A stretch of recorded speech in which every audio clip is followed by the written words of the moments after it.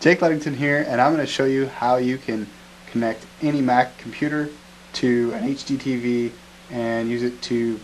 view your applications, watch movies, browse your photos, whatever you want. Connecting any computer to your HDTV really boils down to making one of two cabling decisions. Um, both Macs and PCs tend to have the easiest path at this point in time being a DVI connection coming out of the computer and the uh, connection going into the HDTV is most likely going to be HDMI.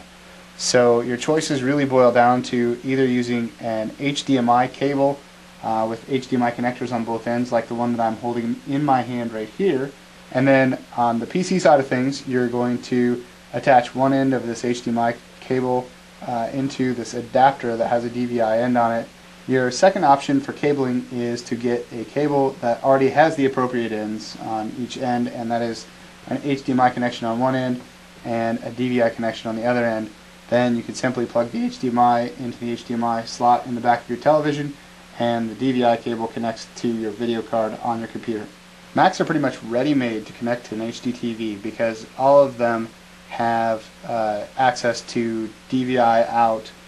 in order to make a connection from the Mac to an HDTV. Um, as you can see on this Mac Mini here, uh, here's a DVI out port here. Uh, if you have a desktop Mac, uh, it will typically have a video card that has DVI out, and if you have a MacBook,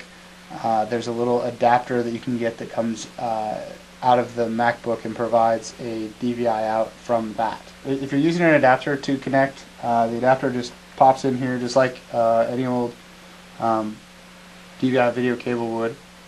and then you connect the HDMI end in here and connect the HDMI end into the television. Using a cable that is a DVI cable on one end and HDMI on the other end, it's really simple. Connect the DVI to your computer and uh, then fasten it down on this end and then the HDMI connection is made on the back of the television, uh, giving you a cable that's uh, ready to tune your computer into the HDTV.